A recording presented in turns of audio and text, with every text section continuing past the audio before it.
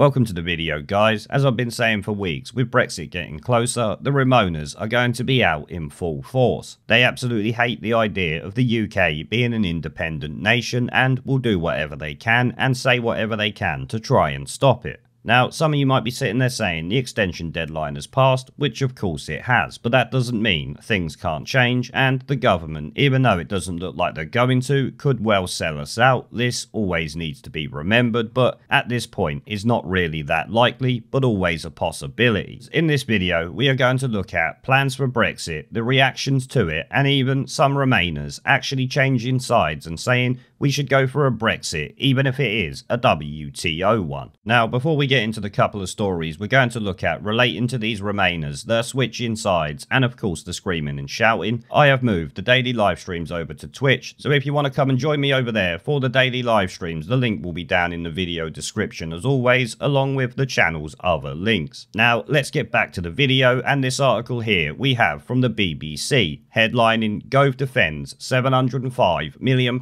plan ban for border posts and staff. This is obviously because the Remoaning media and Twitter have been screaming and shouting that the government are spending 705 million on sorting out the border, so when Brexit fully happens, we are prepared and there will be no chaos that the Remoaners have all been screaming about. I do find it rather funny that they were screaming and shouting that we won't be ready, but as soon as the government tries to get us ready for this situation they're so worried about, they all scream and shout about how much money is being spent on it. Now, I won't read through all of this because we don't need to. We got a couple of more articles to look at with the Remoaners screaming and shouting, and even some prominent Remain campaigners switching sides and now being what you would consider an actual Brexiteer. Cabinet Minister Michael Gove has defended his plans for new post-Brexit border infrastructure after Labour said the government was unprepared. So preparing for it now is something Labour will attack you for, despite of course already attacking them for not being prepared. Which goes to show Labour really is not a political party, it's more like a bunch of activists screaming and shouting about absolutely anything they can. A £705 million funding package to help manage Britain's borders has been announced as the UK prepares to leave the EU customs union at the end of the year. Mr Gove insisted the government had been laying groundwork for months, but Labour's Rachel Reeves said the plans were too little too late. The funding announcement follows a leaked letter from the International Trade Secretary Liz Truss raising concerns about the readiness of Britain's ports, which actually, last I heard on this story, there were questions about whether that letter was actually even from Liz Truss or not. This is what a Conservative MP said anyway. I don't actually know if she ever admitted to writing it. As far as I'm aware, she hasn't. I could obviously be wrong. Under the plans, new border posts will be created inland where existing ports have no room to expand to cope with the extra checks that will be required.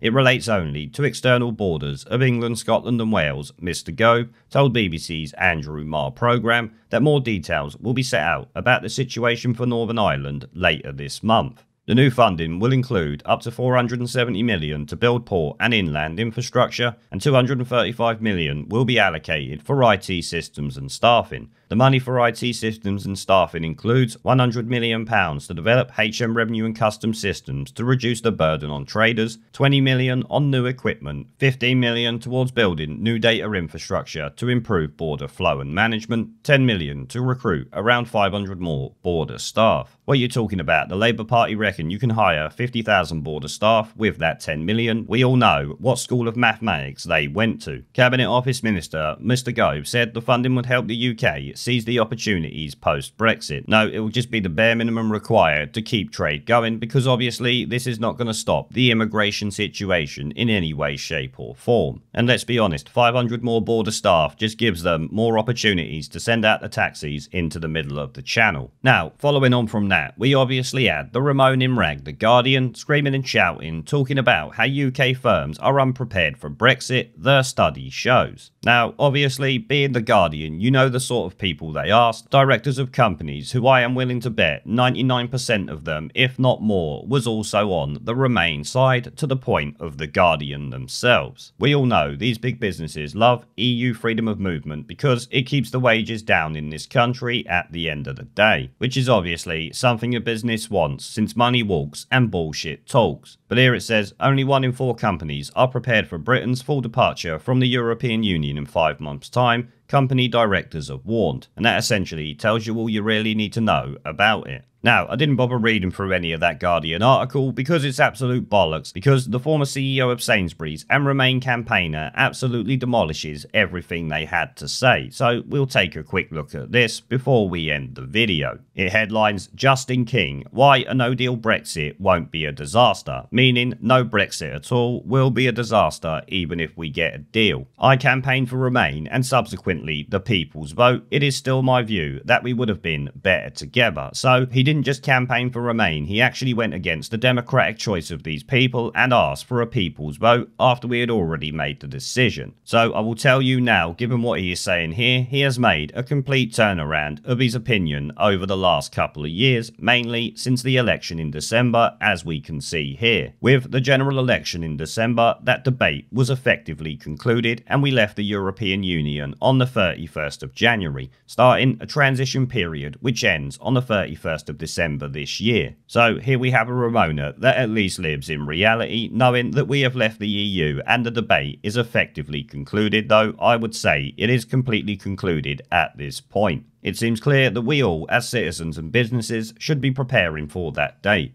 But over the course of the last few months, the coronavirus crisis and all its consequences has dominated our lives. Yeah, and over the last month, woke virtue signalling has dominated our lives more than the coronavirus, that is for sure. It has been argued that this means we should extend the transition. I don't agree. Just think for a moment what this means. In transition, we continue to be tied to all European rules and regulations, and we continue to pay our contribution. This lack of flexibility and drain on resources is something we can ill afford at this time. In any event, we have passed the deadline for an extension, and our government has confirmed to the EU that the transition will come to an end on the 31st of December. That is the date. It will not move, so we must plan for it. You don't often hear Remainers and people who actually wanted a people's vote after the democratic decision was made in 2016 coming out with words like this and accepting the basic reality of it while calling out the EU for being a complete waste of money, especially at this time. The current crisis means that our starting point for exiting the EU is much worse than any envisaged. The way we live our lives has changed. For the long term, there will be significant unemployment, particularly in the sector I know best, retail and hospitality. Our country will be burdened by debt, unprecedented in peacetime. In that sense, it truly has been a war.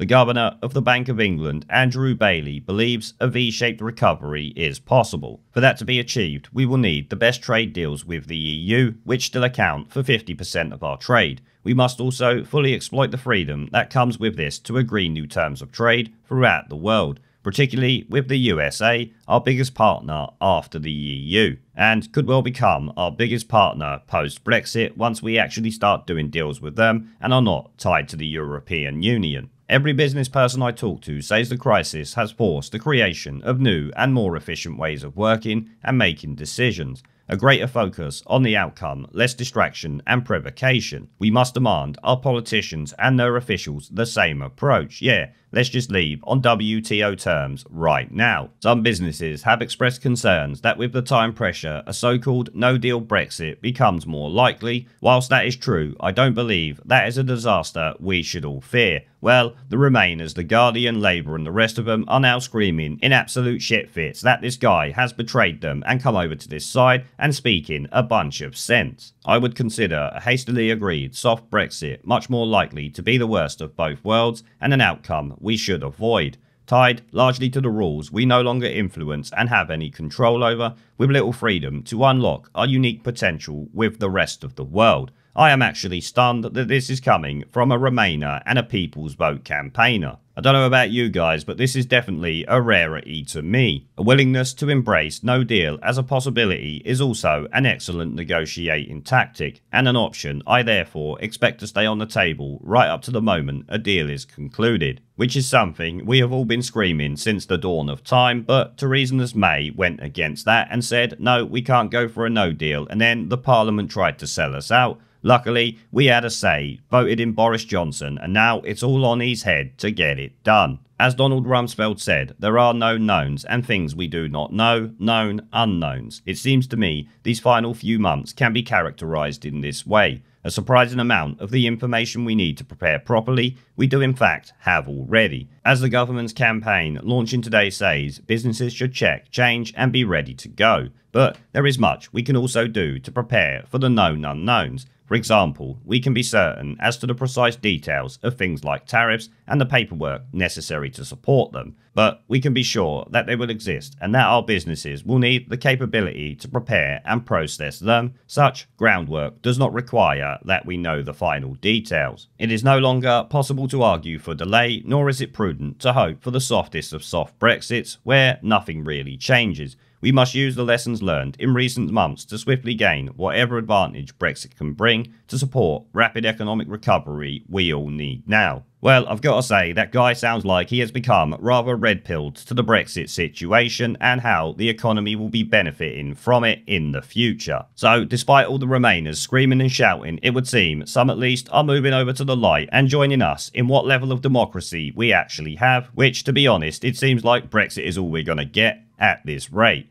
There is a pattern consistent throughout history of oppressed people turning on the oppressors, slaves against their owners, the peasantry against the feudal barons, colonies, Mr. Verhofstadt, against their empires. And that is why Britain is leaving and it doesn't matter which language you use, we are going and we are glad to be going. We're off.